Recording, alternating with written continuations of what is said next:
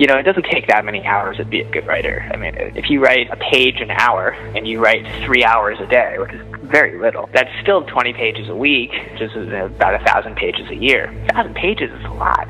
So even if only a quarter of them aren't good, that's still a good book a year. You know, and that's at three hours a day. So if you can stomach, you know, six hours a day, then man, I mean, that's like Stephen King levels.